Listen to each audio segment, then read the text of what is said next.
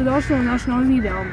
Evo s nama je naš gost Luka Vidović. Evo, nek Bog se svima. on predstavi sad. Ja se, ja ću se predstaviti Luka Vidović, mađioničar. Kratko i jasno. Dobro. Eto da. Evo i mene. E, prije svega dobar dan svima.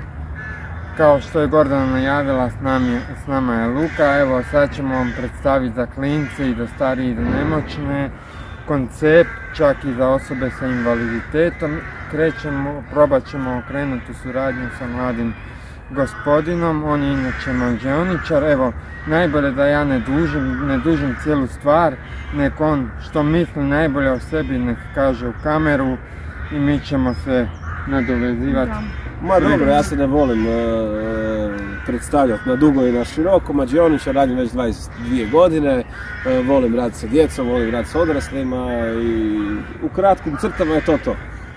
Dobro, kako ti je to baš došlo da si krenio u te vode? Šta Te vode- Pa prije 20 i nešto godina moj pokojni otac mi je donio kazete, VHS kazete, za one koji ne znaju što su VHS kazete, googlajte. video kazete? Nek googlaju, nemoj im sve reći, nek malo progooglaju današnja generacija, to ide u video, sad progooglajte šta je video, pa se pusti play, pa i tako, i to su nekakve stare snimke od David Copperfielda koje sam ja e, gledao iz dana u dan i tako to me očaralo. I evo ga, 22 godine poslije još uvijek se bavim istim poslom. U početku je naravno bilo jako, jako teško jer u moje doba, u prošlom stoljeću još, e, nije bilo interneta, nije bilo youtube nije bilo ničega i e, teško se dolazilo do, do bilo kakvih e, snimaka, trikova, seminara. Imao sam sreće pa sam upoznao E, on je već sad jako, jako star gospodin Bojan Barišić iz Slavonskog Broda. On je sad već ušao u 70 80 godine, ali on mi je jako puno pomogao e, u, u, u u mojoj karijeri, u odabiru trikova. Evo, pozdravljam ga ovim putem. E, čini mi se da i njegov unuk to čak sad gleda. I eto, hvala mu na tome i on je uvelike zaslužan e, što, eto, ja sam danas tu gdje jesam. E, Mala ekskluziva, prošao sam e, Evo, sinoć sam prošao na jednoj audiciji e, Penn Teller, dva najjača mađioničara u Vegasu iza Copperfielda, gostujem najvjerovatnije u petom mjesecu kod njih. Čestitam. Hvala, eto, to je veliki, veliki uspjeh, to je kao... Tvoji nastupi su bili gdje? Što, koji ti je najbolji nastup? Di, si, di Pa ti je to- najljepše bilo nastupati? Najljepše mi je, mislim svaki moj nastup je, vo- volim ono što radim i svaki moj nastup ja, bez obzira bio vrtić, škola ili arena Stožice prije dvije godine od 50 tisuća, od 5 tisuća ljudi. E, od nekakvih e, nastupa koji su mi u životu značili, naravno stari Komireneo Magic Egg Show koji smo igrali preko 10 godina u Kerempuhu, E, moj projekt e, i Atomic Dance Factory, a cijeli svijet je pozornica što smo igrali po tvornici po Hrvatskoj. To je bio više jedan spektakl sa 20 ljudi u produkciji. A, volim nastupat sad u kazalištu od mog dobrog prijatelja Renea Bitorajca u Ludoj kući, tamo obožavam nastupati, zbilja atmosfera je fenomenalna.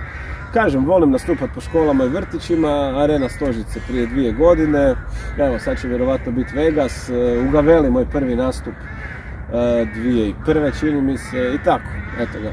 Uzao si mi riječ iz usta. Da, jer kad sam ja, dok, dok smo mi stvarali YouTube kanal i e, službeni profil e, koji se zove Eko Par ili Da, Gordana i Dražan, onda smo baš naletili na tvoju objavu gdje si se fotko u Ludoj kući. Da. To ti je u mom kvartu odmah blizu. A, je, super. Tako da ono, tu i tamo zavirimka ima.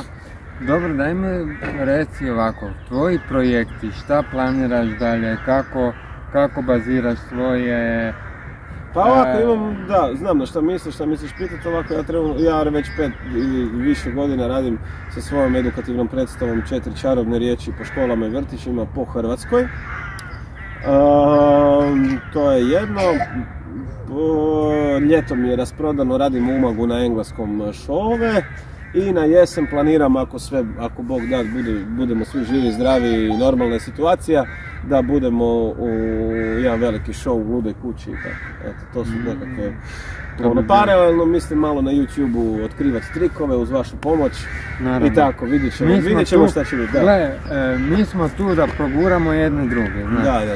da. Da se opet vidi i nas, da se opet i za tebe čuje. Kažem, na ovom videu, dragi naši, imat ćete od mladog gospodina Luke, ćete imat e, kontakt e, e, mailove, znači gdje mu se možete obratiti, mailovi, Instagram, ti nemaš svoju web stranicu ili nešto? A imam, ali moram ju malo up, updated, što se kaže. Aha, već ono... E, to je, to je, znaš, ono, kad imaš puno posla, onda ne vodiš računa ni o društvenim mrežama, ni o ničemu, onda kad nema posla, onda se kreneš baviti time i tako. Ali znaš kaj ću ti ja reći, Instagram, e, Facebook i TikTok, stvari su se pokrenule ono bum. Da, da, da, je, je. Jednostavno u nekim... Ali dobro, treba, treba biti sretan što se uopće radi i eto, tako Kad si ti za vrijeme korone? Pa ne mogu reći da nije bilo, e, ja sam radio, moram priznat. e, Radio si virtualno. Ne, radio sam, e, radio sam nastupe u Umagu, bio sam toliko korektan prema ljudima koji me pet godina ili više neću reći uzdržavaju, ali me angažiravaju, tako da sam sam in- inicirao smanjenje honorara od 30%.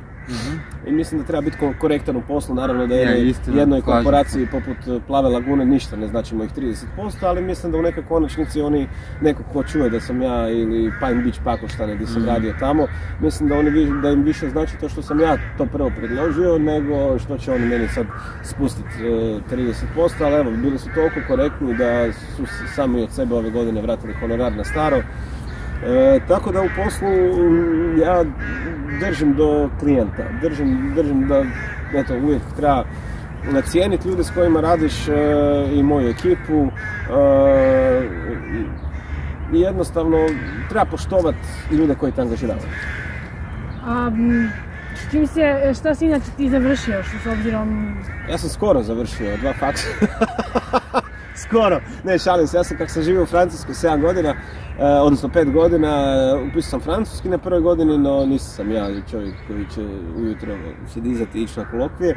E, upisao sam glumu, završio sam glumu govor i pokret, ali službeno nisam diplomirao, su mi ostali predmeti sa druge, treće, četvrte godine, ne znam, povijest drame i kazališta, hrvatski i tako neke stvari, ali niti planiram to završiti jer mislim da je više ne bavim se poslom za koje je potrebna diploma. Znači, ne, klinci ako imate pravo, medicinu, naravno da se to treba završiti, bilo bilo šta, ali e, u umjetnosti je bitno kako te prihvaćaju, ne znam, ono, da li bitno završiti biti diplomirani glumac i biti bez posla ili biti diplomirani mađioničar i raditi ovako ko ja. Tako da je meni puno bitnije da ja imam posla, da, da imam preko 200-300 nastupa godišnje i nego nekakva titula DPL i tako. Što ne kažem da nije dobro, apsolutno je e, diplomirani glumac, ono, ja mislim da moj tata čak nije diplomirao, ali nisam siguran.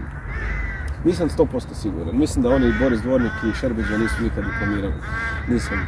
Mislim, evo, to ti dokaz o, o tome Ali da bili diploma... su jaki glumci. E pa da, to je dokaz da e, za neke stvari ti zbilja ne treba diploma, a za neke ti zbilja treba, tako da.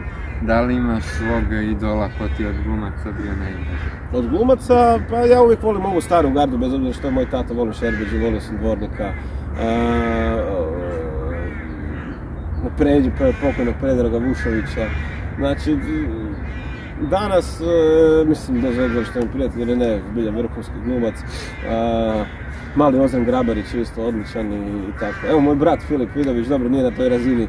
E, sad je više nego, sad je više plesač nego glumac, ali eto. E, on je isto dobar, tako da... Ali gledaj, svaka, svaki hobi, svaki posao ima svoje čari. Je, je, je, Daleko od toga, ne, da. u nekim stvarima.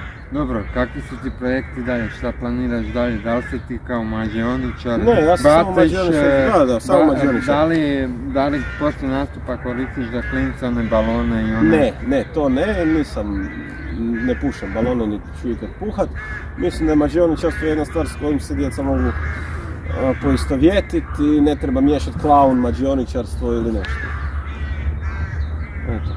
Pa, evo, Ostao, ostao sam, e, ostavio sam vas bez teksta. To Da, sada, da- da, sad, sad ono, hoću, hoću ti dušu iš, iščupat van, ali ne mogu. Ne, evo ga, ostavio sam vas bez teksta, sve smo. Znaš ono, što je, najljepše stvari e, kratko traju, jel tako? Pa zavisi, da, sad zavisi, kažem.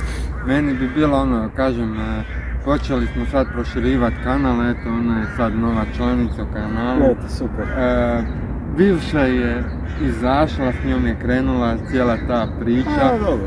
Čuj, i bili smo i po novinama i po Da, televiziji. da, sve super. To, kažem, Treba sad- biti ustrajan i fakat evo, želim vam sreću, ja ću vam pomoći koliko mogu i... Kažem, volio bi za klince prilagoditi kanal, znači da naš kanal iskoristimo ono maksimum maksimuma, Da. ono kad bi još našli nešto uz tebe i to bi ono da se mi međusobno povežemo i da probamo napraviti nekakav krug da jedan drugog potičemo. Kužiš, tebi treba publika, nama trebaju pogledi i pratitelji onda se možemo. Kažem, ja ću možda snimiti par ovih videa pa ću vam dati pa to iskoristiti Da. kako se postaje mađoničar. Tako da ono, to bi bilo super. A daj mi reci sad pred kraj ovog razgovora kak stvari stoje u Ludoj kući, kak tamo... Pa mislim da oni rade Nisu. fenomenalno, imaju super predstave, svakako preporučujem ljudima e, e, da odu pogledat, ne znam, potpune strance, samo preko njega mrtvog žurologija, znači to su zbilja predstave koje e, oni rade jako kvalitetno i zbilja su ga. Dobro, evo sad ja te prepuštam Gordana i moje zadnje pitanje ti je ono... Ona fotka, ne znam gdje sam ju vidio, zapravo danas na Ludoj kući, publika lijepa je fotka, ali ima i A, novi prostor. da, da, da. I ono, ti visiš sa plafona, rekao, dobro, to je, kaj je to, fotomontaža? Ne, nisam visio na prozornici sam sliko me ovak tak da ispada, da, da, da, dobro. Da, ono, fotomontaža je ono, baš, baš karaktera. Tako da, eto. Eto. Da, sve si ispitao. A ti, kaj? Gordanu si, Gordanu si stavio bez riječi. Evo, Dobro, ja- Postavila je jedno pitanje i to je to. Na drugom Evo, ja ti dam dva, dvije minute pred kraj. Pa ne, pa evo sve, sve smo čuli, sve si ispitao što je to Jesam, eto trebalo. ga, to je to. E, sve smo čuli, ja mislim da su sve ovoga, klinci će čut sve. Da, Ti pitaj sad da ne bi bilo, joj, znaš dakle ga nisam ovo pitala, sad Pa da, dobro, ti si ga sad sve, ispit, za sad sve ispitao, evo ja ću...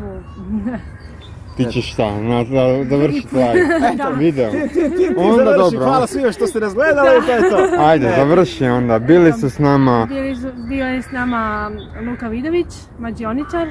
Evo, do drugog videa vidimo se. Ok, bok svima Bok. i zapratite nas, bok.